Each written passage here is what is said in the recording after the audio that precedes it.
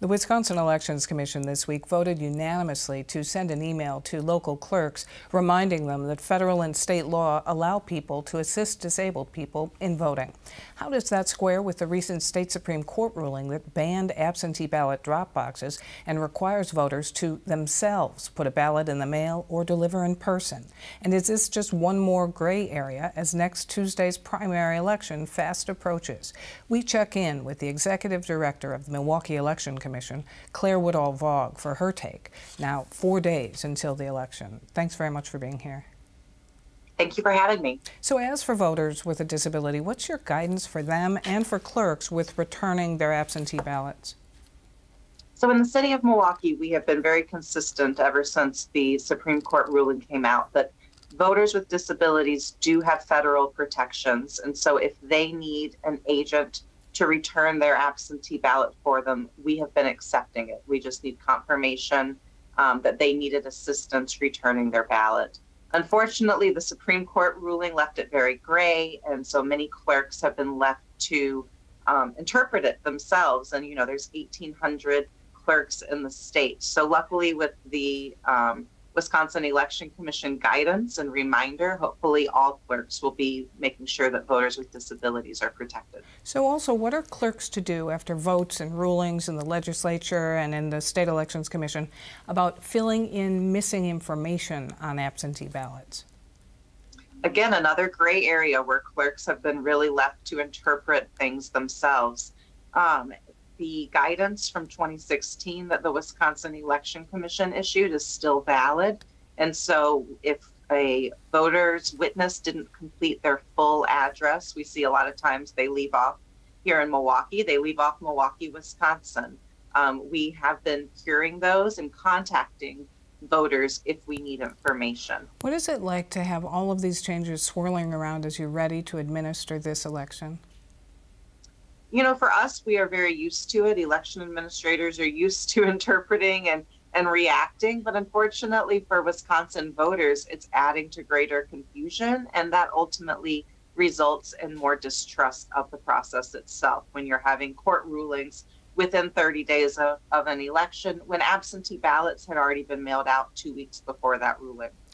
Your city uh, polling places, like other municipalities across the state, tested your voting equipment this past week. Uh, were any problems encountered? No, there were no problems. We test all 180 machines here in Milwaukee, and then we held our public test where we did have one member of the public who came and a few news media, but there were no issues. Our machines are reading and transmitting results exactly as those paper ballots are cast. Still, Milwaukee County has been singled out by Republicans for potential fraud. Uh, does Milwaukee administer elections any differently than in the rest of the state? No, you know, I think that's one thing to really highlight is that we continue to be singled out, but we are administering elections just like every other municipality, every other county in the state. Our equipment is used elsewhere in the state, and our policies and procedures are following state law and Wisconsin Election Commission guidance. Following the 2020 election, you were threatened by election deniers. Does that does that persist? It does persist, unfortunately. You know, I think that it was odd in that we saw the greatest amount of threats um, actually come almost a year after the election, and nearly two years after the election, we are still seeing um, a lot of election deniers, conspiracy theorists that I battle, um, and that our election officials, you know, are answering questions that are very complicated on election day, and we've had to do additional training to make sure that they're comfortable working on election day. What, what kinds of uh, trainings and preparations have you made with any kind of expectation of continuing threats to election officials?